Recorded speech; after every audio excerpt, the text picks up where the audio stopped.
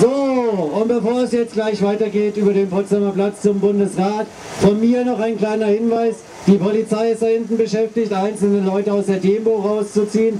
Passt bitte auf euch auf. Gemeinsam können wir den grünen Leuten Paroli bieten.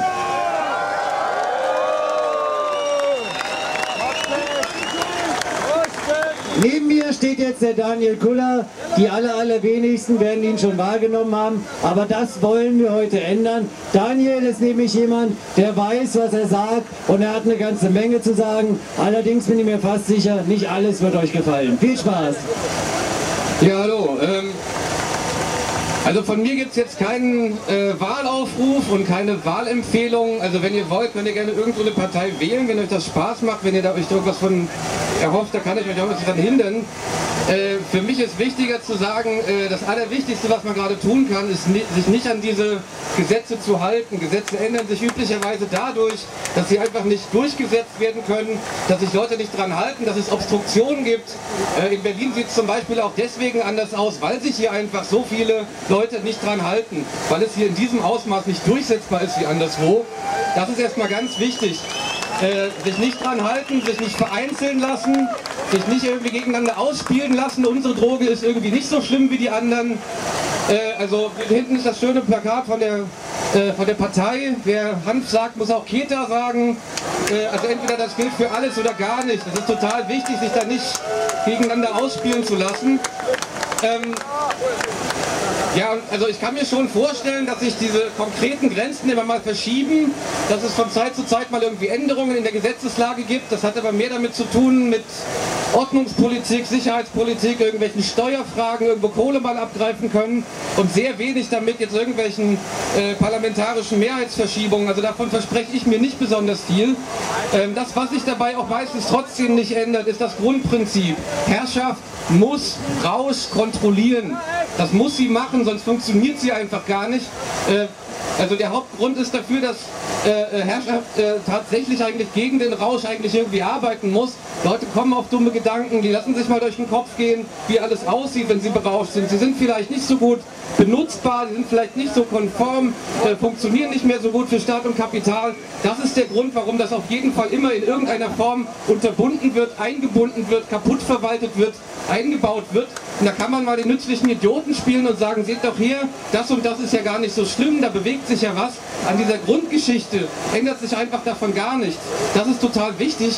Äh, also ihr könnt da sicherlich irgendwas bewegen für euch, für eure Substanz, für euren Konsum vor allen Dingen auch. Äh, an dieser Grundgeschichte, dass Rausch irgendwie unter Kontrolle gehalten werden muss, wird sich dadurch nichts ändern. Also dafür ist sehr viel wichtiger, wie gesagt, sich das trotzdem rauszunehmen, den eigenen Rausch tatsächlich trotzdem zu erkunden, sich trotzdem diese Sachen zu verschaffen, die man dafür braucht und sich einfach mal an die Gesetze, so lange wie es sie gibt, nicht zu halten. Das ist, glaube ich, das Allerwichtigste, was ich zu sagen habe. Ähm,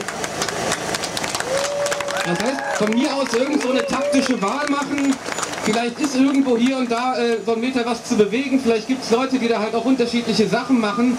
Aber wie gesagt, auf die Dauer viel wichtiger, sich nicht vereinzeln lassen, sich zusammentun, sich auch mal Gedanken drüber machen, wo die Drogen jetzt gerade herkommen, wer da gerade betroffen ist, dass gerade Jagd auf Dealer in dieser Stadt gemacht wird, dass also tatsächlich einfach seit Monaten eine Kampagne läuft, in der, äh, im, im Görlitzer Park, auch in anderen Teilen der Stadt, äh, äh, wo die Polizei systematisch diese Leute jagt. Äh, da kommt halt das Gras her, da kommt halt für ganz viele Leute die Substanz her. Es ist total wichtig, dass wir da nicht weggucken. Es ist total wichtig, dass wir uns auch auf die Selbstorganisation dieser Leute mal ein bisschen äh, mit einsteigen. Die artikulieren sich bereits, die stellen sich am Görlitzer Park selber hin und sagen, auch wenn wir mit Rauschmitteln handeln, mit illegalen Rauschmitteln handeln, haben wir ein Recht auf körperliche Unversehrtheit. Wir sind trotzdem einfach irgendwie Menschen, auch mit schwarzer Hautfarbe, auch wenn wir das tun. So, die organisieren sich bereits, die machen das schon. Es ist total wichtig, dass wir uns da auch daran beteiligen und auch mit dazustellen und hier nicht auf diese äh, Scheißhetze gegen Dealer einfach mitmachen. Also das ist genau diese Auseinanderdividierung, von der das zum Schluss dann einfach immer profitiert und funktioniert.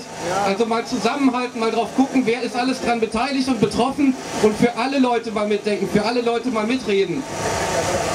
So, und äh, in, im, im, Ziel würde es mir aber mal darum gehen zu überlegen, warum das in dieser Gesellschaft so ist, also warum Herrschaft das eigentlich immer verlangt und wie es vielleicht möglich sein könnte, eine Gesellschaft einzurichten, in der das so nicht mehr läuft, in der tatsächlich jeder selber bestimmen kann, wie er seine Bedürfnisse befriedigen möchte oder wie er sich seine Wünsche erfüllen will.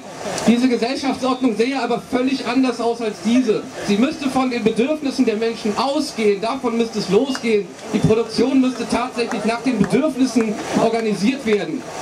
Ich nenne das Kommunismus, andere Menschen sagen befreite Gesellschaft oder klassenlose, äh, äh, herrschaftsfreie Weltgesellschaft. Das Grundprinzip ist, alle Menschen kriegen, was sie brauchen.